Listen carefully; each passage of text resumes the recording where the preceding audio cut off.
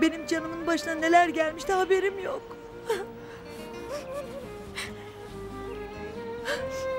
Of.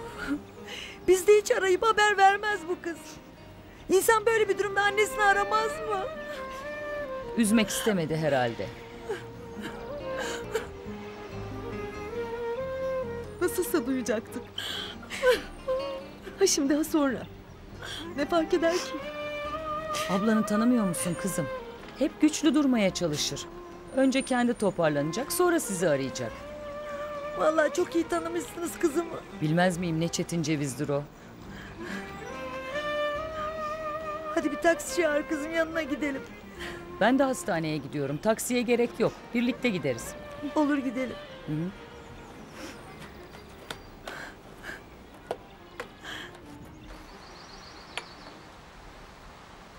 Açık pazarda işler çok iyi gidiyor baba.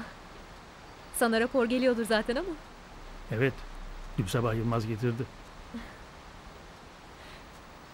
Raporları bizzat kendi hazırlıyor. Elini bir an işin üstünden çekmiyor. Zaten başka türlü bu başarı olmazdı. Evet bu işteki başarısını kabul etmek lazım. Yılmaz akıllı bir genç olabilir. işi de iyi biliyor. Kabul. Şirketi zor bir durumdan kurtardı. Ama gözünü onun üstünden ayırma. Sakın ona güvenme. Bence tekin biri değil. Hiç değil. Tamam mı kızım?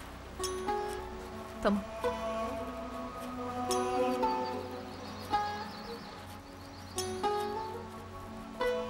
Elif nasıl?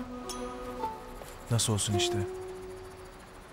Müjgan Hanım Elif'in yanında kalmak istedi. Ömer'i zor getirdim valla. Sen de kendine dikkat et Ömer. Bu hastalığı hiç duymamıştım. Bugün internetten baktım. En azından artık doktor kontrolünde. Üzülme canım Elif güçlüdür. Sağlıklı bir doğum yapacak göreceksin. İnşallah. Umarım öyle olur. Ya ben hiç oturmayacağım. Gidip biraz uzanayım.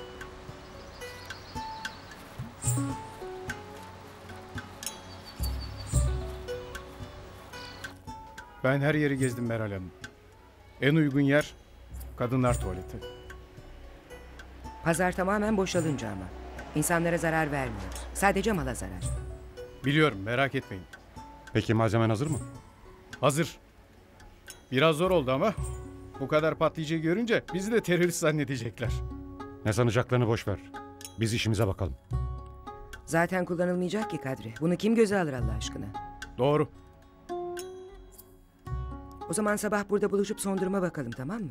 Tamam.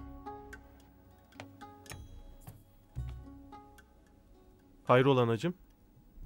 Gel otur Yılmaz.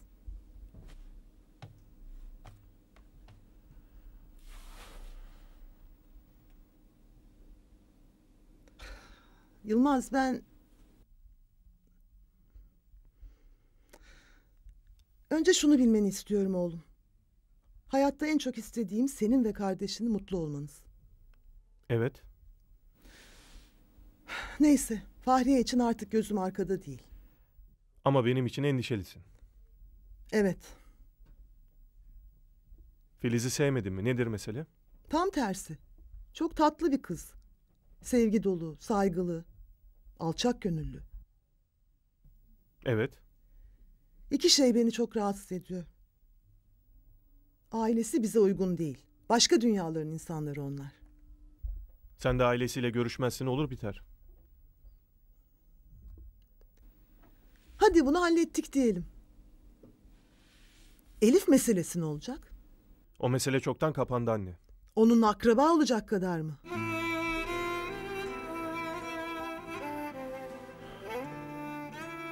Bak bu konuda seni üzmeyi hiç istemem anne. Ama ben Filiz'i seviyorum. Bu gerçeğin dışında hiçbir şey beni ilgilendirmiyor. Kimseyle akraba olmaya falan niyetim yok. Biz ayrı bir hayat kuracağız Filiz'le.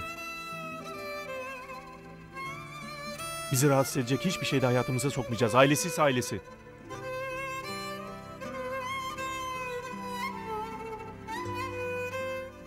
Senin için rahat olsun tamam mı? Bana güven.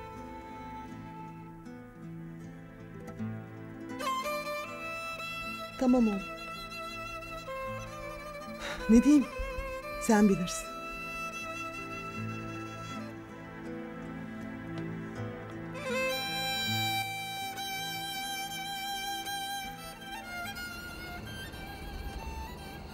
Sen merak etme Müjgan abla. Yarın sabah okula kendi ellerimle bırakırım. Yok artık. Beslenme çantamı da hazırla istersen. Tamam. Erkenden yatırırım tamam merak etme. Hadi Elif'i öp benim için. Sıkmayın canınızı tamam mı? Ben yarın sabah uğrarım hastaneye. Tamam söylerim. Benden de, benden de. Onun da selamı var Müjgan abla. Hadi merak etme. Görüşürüz. Ya bu alengirli hastalık isimlerinden de bir şey anlamıyorum ya. Neymiş şimdi durum? Biriniz anlatsanıza. Hamileliği ve doğumu biraz zor geçecekmiş. Nefes darlığı ve kalp çarpıntısı falan olabilirmiş o kadar. Bak şuraya yazıyorum. Birkaç ay sonra bu halimizi hatırlayıp güleceğiz. Ya Ay Nalan'cığım da teyze oluyormuş artık. öyle. Ben çok heyecanlıyım valla. Hepimiz öyleyiz. Ben de. Nalan'cığım sana eski odanızı hazırladım. Ne zaman yatmak istersen yani tamam? Şimdi. Nedense kendimi çok yorgun hissediyorum. Tamam canım. Hadi gecelik de koydum yatağın üstüne. Teşekkürler. İyi geceler. İyi geceler. İyi geceler. Bu hastalık çok ciddi bir şeymiş Ali. Kızın yanında açıkça söyleyemedim. Hoş, o da biliyor ya. Yine de söyleyemedim işte.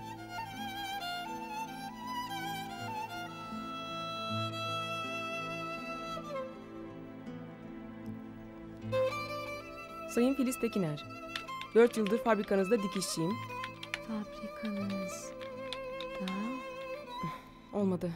Doğrudan satış bölümüne geçmek istiyorum desene. Kadın beni daha tanımıyor ki kızım. Önce kendimi tanıtmam lazım. Annemi dinlesen bunların hiçbirini düşünmene gerek kalmayacak. Kapıdaki zengin kuyruğundan seçeceğim birini. Sen önüne baksana. Zevzek.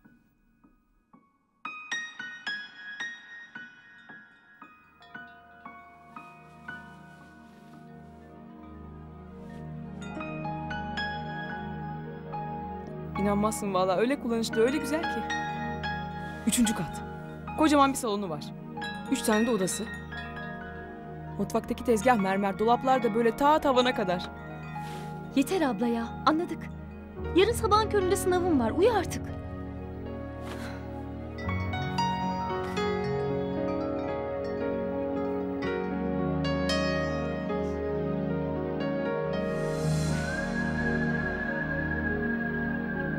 Her şey düzelecek.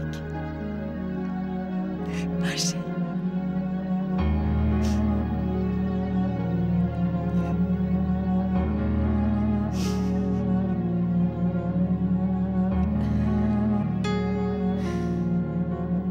Kanalımıza abone olarak tüm videolardan anında haberdar olabilirsiniz.